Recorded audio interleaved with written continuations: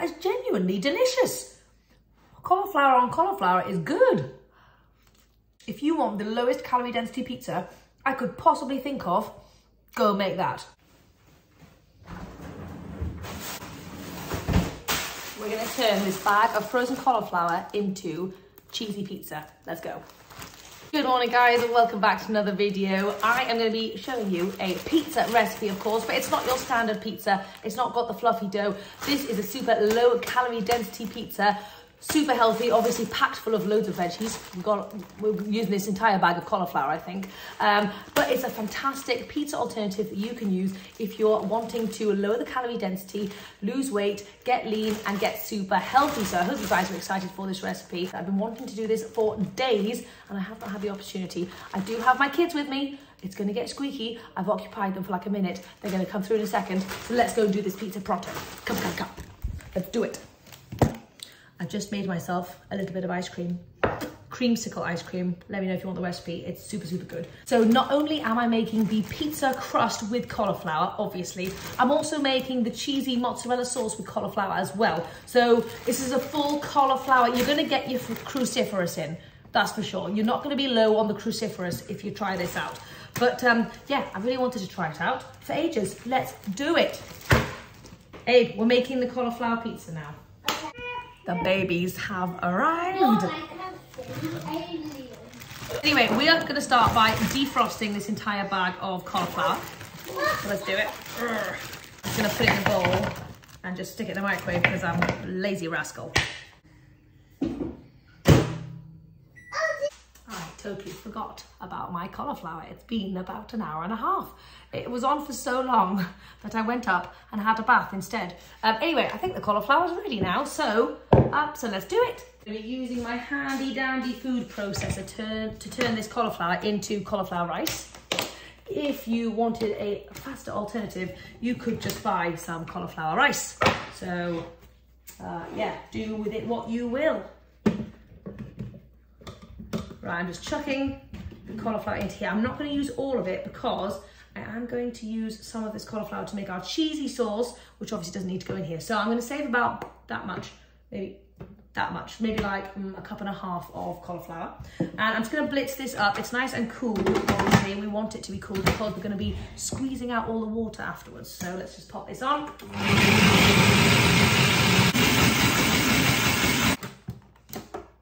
That will have to do. Perfect. I found some cheesecloth. I've been doing major deep cleans in my kitchen. I found some cheesecloth and I was like, that's going to be perfect for my recipe. And now I can't find it. Where the muffins is it? Where are you, cheesecloth? Cheesecloth. Got it. Right. Naughty cheese. I agree, it was a naughty cheesecloth. Okay, so we're going to squeeze out as much liquid from this cauliflower as humanly possible so that it's, you know, like dry and pizzery, you know, you know. You can use a cheesecloth, a nut milk bag, maybe like a really good fine mesh strainer. You could use a pair of tights if you fancy it and if you don't have any other options. Um, I've done that before, like honestly, when I was uh, making cheese, I have used tights in my experimental phases. Okay, so you can see we've got a nice fine cauliflower rice going on here. I'm so excited. I've seen this recipe all over the internet, obviously. I'm gonna do an Ami spin on it, of course. Let me know, let me know right now if you can guess what my addition is gonna be. Hmm? Let's see if you're right. Okay, then we're just gonna squeeze it all out. Oh wow. It's amazing how much water is actually in this cauliflower. Oh my goodness me. I mean, vegetables are mostly water. I forgot about that. Whoa, I am not going to be drinking this cauliflower water. Although I think Chef AJ would, so maybe I should try it. I don't know. I'm squeezing the cauliflower, Robbie. Look, this is this is cauliflower water. Have you ever tried cauliflower water, Roms? No. Or was that a bit silly? Robbie wants to be my special helper. Come on, Romster. Okay, so that is just so much water. I thought it was just gonna be a little dribble. Yes, yes, that's the stuff, Romsey, that's the stuff. Squeeze that cauliflower. Get your kids involved. Are you going to have a bath in the cauliflower water? Oh dear. It's going to get messy. Right, oh my gosh. No, I'm exhausted. Right, I'm calling it a day there. I can't go any further. Right, there's a lot of water. Now, do you know what we do, little Romy? I see Do, some do, flower do, in there. Oh, I've got a good plan. Should I show you my plan? Yeah.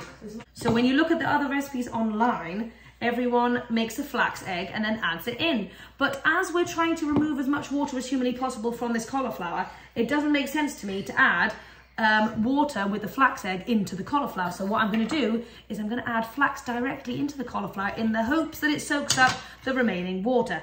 Yeah, Mommy, that's cauliflower. Do you want to have a taste? Oh, it's really nice and dry actually. Here, have a little taste. What do you think? I eat more. You, you like it? Yeah. Oh, yes, you can eat some more, but don't, this is my pizza. Are you going to share my pizza with me? So we're going to do, Romy, will you help Mummy? Right, we're going to do a tablespoon and a half of flax. Pop that in. There we go. We're also going to add in a few seasonings at this point as well. I'm going to do a little bit of salt. There we go. Right, we want this to be as cheesy as possible, and I thought this could add to the dry consistency as well. I'm to do a little bit of Nutri-Roms. Help me do a little sprinkle. Maybe like quarter of a cup or something. So we're also going to add in a few extras. I'm going to add in some mixed herbs um, and some garlic powder as well. Just like a little teaspoon of the mixed herbs. Then a nice little sprinkle. Okay, just give it a nice little mix. Okay, so let's have a little taste of this. The flax, I can tell, has already started to thicken. Wow, that is surprisingly tasty. I would eat, I mean, I would genuinely eat that whole bowl, not gonna lie. I tell you what, if you made this into little nuggets and put it in the air fryer with like some cornstarch. Oh, we need cornstarch. What am I doing? Cornstarch. Okay, we're also gonna do a couple of tablespoons of cornstarch. I, was just thinking, I wonder if you added psyllium husk into this, would it be an amazing kind of bread? I'm gonna try that. Let me know down below if you would like me to try that recipe out because I think it sounds incredible. Um, so I was gonna do an Ami version um, and I was gonna add some chickpeas in, but actually having tasted and seen this, um, this crust in and of itself, I don't think we need to add chickpeas. And I know I've done a chickpea pizza in the past, which is incredible. But if you wanted to bump up the, the protein and the goodness and the fiber and stuff, by all means blitz up a tin of chickpeas in the food processor until it's like a nice cookie dough and then add that in. I think that would be amazing. But I'm not gonna do that today actually. We're gonna we're gonna play it by the rules. We're gonna take it easy. Because that is yummy. Okay. Let's assemble our pizza base. All of my baking trays are absolutely filthy, so this is actually the cleanest one, believe it or not. Okay, so I don't want it to stick on the bottom, so I'm gonna add some cornmeal. I would use more chunky cornmeal, but I've only got the fine kind. Um, and I know people can often put that at the bottom of a pizza, and I quite like the texture it gives anyway, so we're just gonna, we're just gonna do that. And then I could roll this out properly, but I actually can't be bothered, so I'm just gonna use my hands. just gonna use my hands. Mommy, you can eat that mix if you want. Okay, let's see how messy this gets. It's feeling like a nice dough. It's actually sticking together so nicely. I'm so surprised. Wow. Amazing. Who knew? Who knew a cauliflower could do that, eh? Actually, I don't think we're going to want to go thinner than that because I think it's going to tear apart unless you added some almond flour or oat flour or chickpeas or something. I think this is a little bit more of a fragile dough. So we're just going to leave it at that and put it in the oven to bake for maybe like 15, 20 minutes and then maybe add our toppings. I'll let you know. Now we're going to be moving on to our cheesy sauce. Um, this I think is going to be a good one. I don't know whether I've used only cauliflower before, but I've definitely used cauliflower in a cheese sauce. And I've got my staple extra ingredients that I put in. So let's do it. Let's try it out. Okay, so we're just going to add in the rest of the cauliflower. You could obviously make a massive batch of this if you wanted to. There we go. So for acidiness, we're going to go in with a bit of lemon. Lemon juice. The juice of one lemon, I think. Maybe lemon juicy. Yucky foo-foo, yucky foo-foo. I'm also going to go in with some soya milk for my liquid of choice. You could go with water or any other plant-based milk that you like. We're obviously gonna add in nooch for that cheesy flavor. I'm probably gonna do like, bye bye, bye bye babes, I love you. I love you. And then we're gonna go in with some salt, obviously. Cheese is meant to be nice and salty, but add as much as you fancy. Um, I'm also gonna add in some more garlic powder because I fancy this being like a garlicky cheese. You could add a clove of garlic if you wanted. And the magic ingredient is tapioca starch. This gives it that lovely stretchy consistency. If you have checked out my previous mozzarella video where I used silken tofu, you know that this is the star ingredient. Um, but yeah, we're gonna add in a couple of tablespoons of this good stuff. Ooh, boop. Let's, there we go, there we go. And last but not least, you definitely do not have to add this in. Oh, God. It's an extra ingredient, but it's lactic acid and it just gives things a cheesy flavour. It doesn't really have anything to do with the texture. It's all about the flavour and we just need like half a teaspoon anyway. So if you don't have that, literally don't worry about it and just don't put it in. Okie dokie. We may need more liquid. I'm not quite sure, but let's blend this up and give it a whirl. You could add some miso if you fancied, but I can't be bothered. We needed some more liquid, so I added in a half cup of water as well. Let's see what that is like. I'm gonna give it a quick taste, even though it's got the tapioca starch in, because I wanna see if everything else is right. Mmm, oh, that is yummy. I think I put too much garlic powder in there, oh God. That's gonna have a kick. Okay, that's, that's gonna work. Okay, grab a pan and pour it on in. You wanna make sure there's no chunks. Hopefully there's no chunks. We are chunk free, yay! I love the fact that you can literally turn any food into anything. You can turn cauliflower into pizza and mozzarella. It's basically like having a bowl of cauliflower, but you're having a pizza. What? What? What? Anyway, we're gonna heat this up and I'll bring you with me.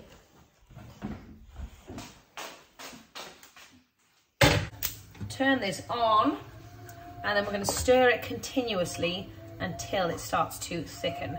It'll probably take about five, six, seven minutes, but just keep stirring because you do not want to get the bottom bit stuck to the pan. That will be a nightmare and you will burn your pan and I have done that before. So yeah, I'll let you know when it's ready. Okay, as you can see, this is really starting to thicken up nicely. So keep going, keep going, and then it's gonna get nice and like, I don't know if you can see that stretchy goodness. That is exactly what we're after. Okay, have a look at this cheese. You can see how stretchy that is. We're gonna have a little taste because I'm very curious to see what it's like now that it's um, now that it's cheesy.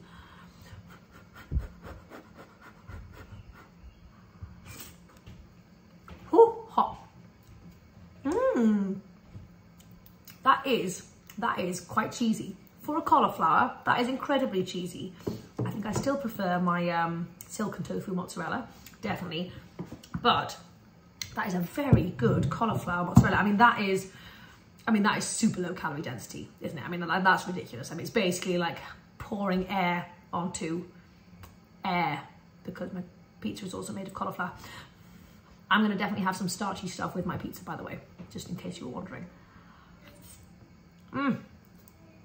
Wow, super yum. Happy with that. Oh, wow. I might mix silken tofu with the cauliflower next time. That'd be good. I was trying to think about what I'm actually gonna have on top of my pizza and I don't have a lot of stuff. I'm gonna keep it minimal. So I've got some mushrooms, I've got a courgette, and I've got some little baby tomatoes. And I also have some leftover very old and very dry chickpea nuggets because remember I overcooked them in the last video. But I've been putting them on everything and the kids also love them so it doesn't matter how dry they get, they are still very tasty. I thought I could crumble that on the top and that would be nice. So anyway, I'm going to cook these and let you know when I'm ready to put it all together. Okie dokie, here is our pizza base. It is quite nice and dry, I think. Obviously, it's going to be in the oven again. So now let's just put on our toppings.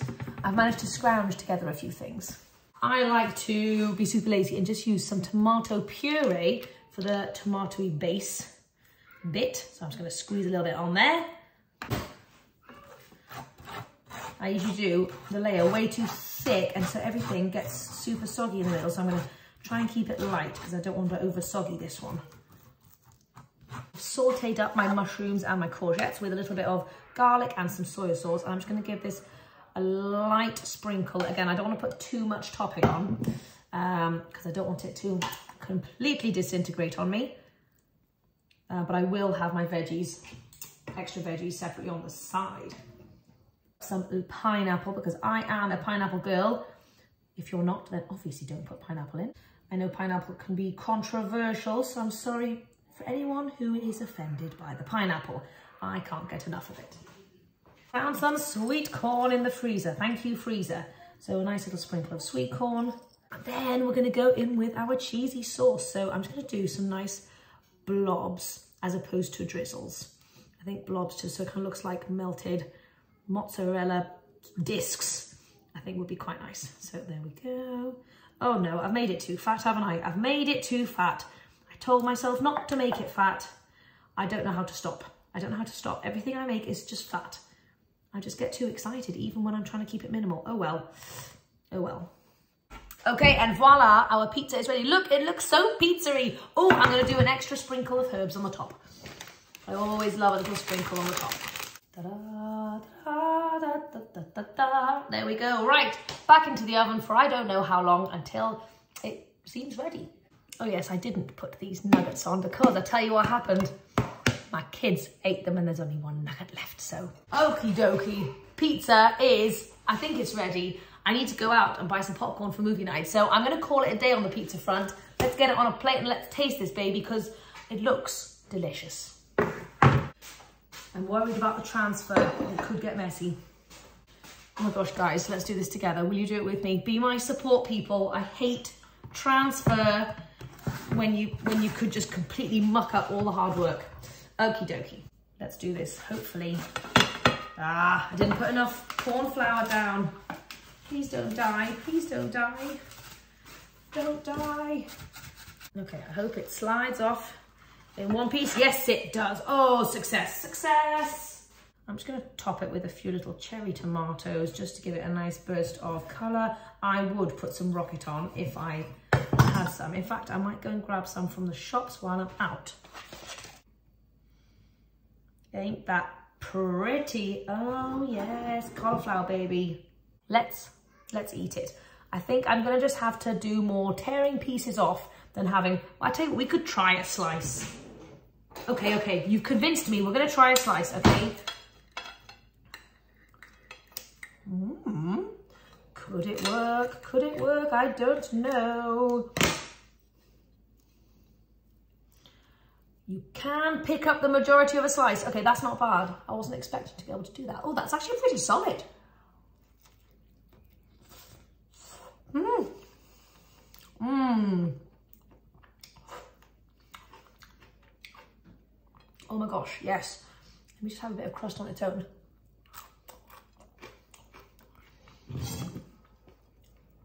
That is surprisingly delicious, guys. And I know, I know I'm eating a cauliflower and I know that's a weird thing to say when you eat cauliflower, but that is genuinely delicious. Cauliflower on cauliflower is good. Mmm. Mmm. Oh my God. If you want the lowest calorie density pizza I could possibly think of, go make that. Okay, yeah, it was a little bit more effort than, well, I mean, all pizza's effort, isn't it really, if you're going to make it from scratch, to be fair.